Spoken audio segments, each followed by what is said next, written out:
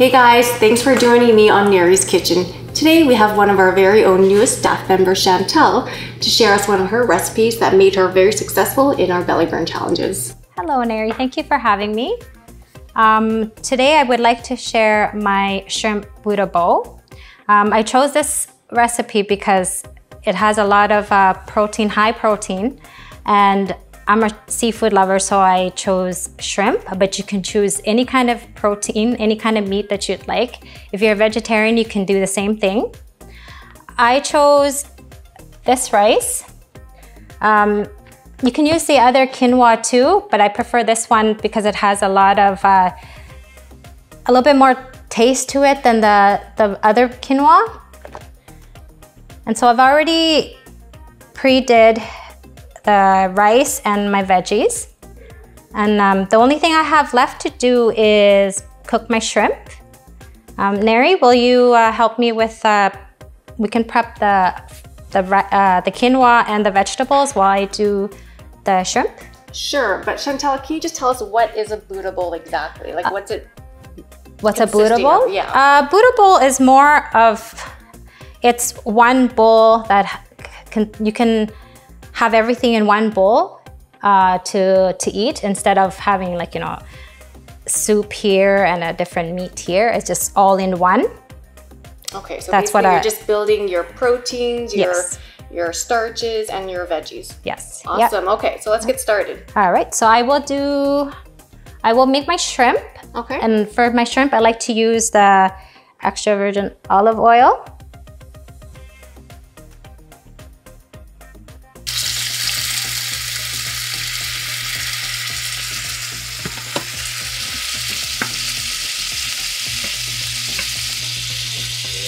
What did you marinate the shrimp in, I marinated it with um, lemon, pepper, and smoked paprika.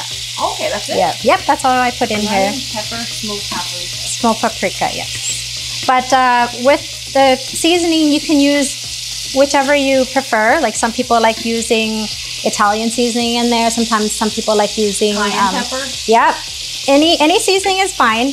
But I just prefer just for myself because I, I like the, the spiciness of the smoked paprika. Mm -hmm. And I find that the smell, it just, okay. you can smell it, like it's just that aroma. It smells smoky. Yeah. So Neri, we're just gonna, I'm just gonna get you to help me uh, assemble the Buddha bowl. First, we need to put the quinoa, so a, a cup of quinoa. Yeah. Yeah, yeah, yeah that's good. Okay, and then just good. put it down, yes. All right. Okay. What I normally do is do I like would put just put it at the bottom. Oh, okay. Just like spread so it we're out. We're building layers. Yes, we're building okay. layers. I like to use kale and butternut squash and asparagus. My reasoning is because these are my vegetables that we have at home because my family likes to eat it. So I always have it, but you can use any kind of vegetables of your choice. Okay. So it could be like cucumbers, some people use carrots. Avocado. Avocado.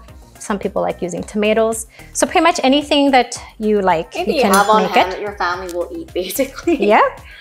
So then next we would put, I'll get you to put the the kale? Kale How in. Much kale? Um, oh, sorry. Put the half a cup of kale. Cup? Sorry. Yep. Okay.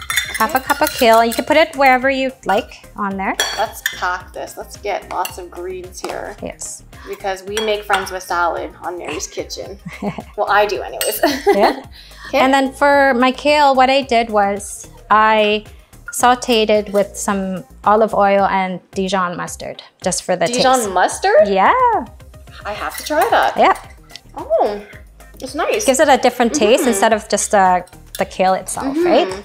And then next, the asparagus, you can kind of just eyeball. So what I like about butternut squash is that it's sweet, so it adds that sweetness, yes. but it's actually lower in carbs than a yam. Oh, you didn't know that? No, I did not yeah, know that. Quite really? a bit lower.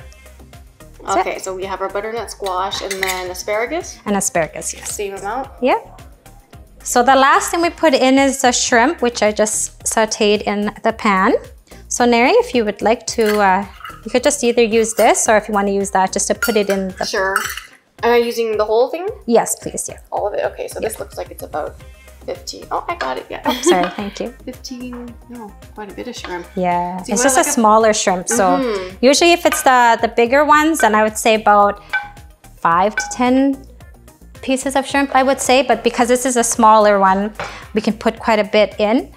And then the next and the very last is our Dijon mustard. Okay, how much mustard? Um, you can just put as much as you like, but I would say put uh, maybe just a spoon and just kind of drizzle over and okay. taste it first, just in case. Okay. Because some, some people don't like it too spicy and some people like it spicy, oh, right? I like so, it spicy, same with Jerome too. Yeah? Okay, awesome.